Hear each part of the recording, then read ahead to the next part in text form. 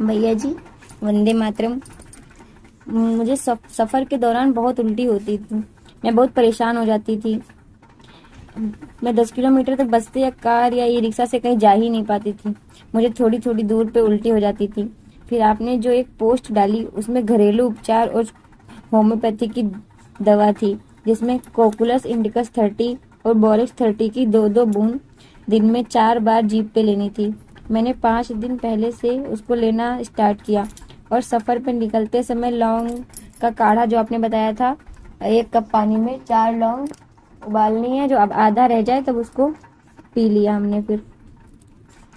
जिससे मुझे एक सफ़र किया तो मुझे एक भी उल्टी नहीं हुई।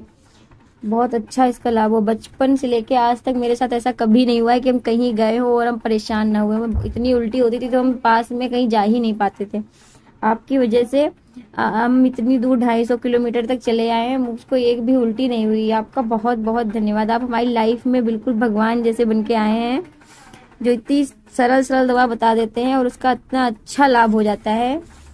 हमको बहुत बहुत इसका फ़ायदा हुआ।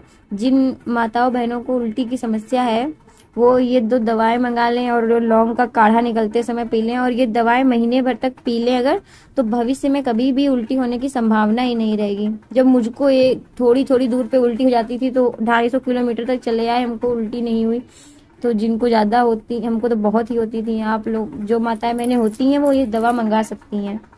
बहुत बहुत ज़्यादा फ़ायदा करती है। आपका बहुत बहुत धन्यवाद भैया जी, जो आपने ये दवाई हमें बताई। कोटि कोटि प्रणाम आपको। वंदे मातरम भैया जी।